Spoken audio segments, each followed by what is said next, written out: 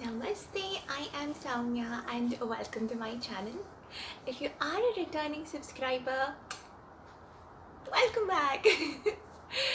okay, today's video, I don't have a product with me to show you, but it's all about Kenneth Cole White.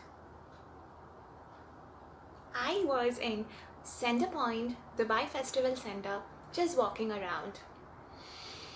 Came across this beauty, had this feeling of wanting to try it out, and the first sniff, I went like, oh my god, this is Bath and Body Works Twilight Woods, but a more posh version of it, but nonetheless still the same.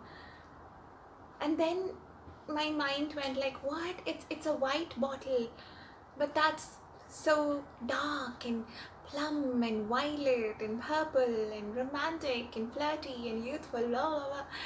But I was just so excited. My husband loved the scent on me. It lasted four hours, and um, then I made the mistake of going to Fragrantica just to see if anyone else thinks the same thing. And oh my god, people are comparing it to that fruity bomb like Viva La Juicy. And I thought, what? It's not. but that's what fragrances are all about right? It's so personal. We all have different interpretations for different scents. We all love different things. That's why i always tell you do not ever blind buy anything. So i'm not gonna ask you to blind buy this and i am not reviewing the body mist. This is kenneth cole white the perfume. Um to me it's just beautiful it's youthful it's flirty. There is the fruitiness that comes from plum i believe. There's also a powderiness but way towards the end. I love the scent. It's for me it's like the perfect date night scent.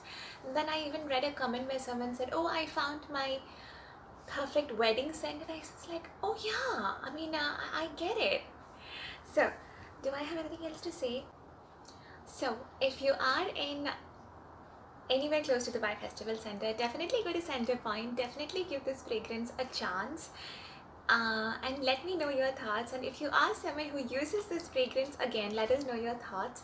And if you are all about layering the same kind of scents, then I would ask you to layer this with the body mist from Body Fantasies and Body Bodycology. I'll leave them here also the shower gel from Body Collagen.